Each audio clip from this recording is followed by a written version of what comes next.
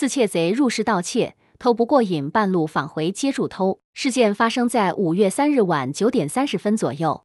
当时该户居民外出不在家。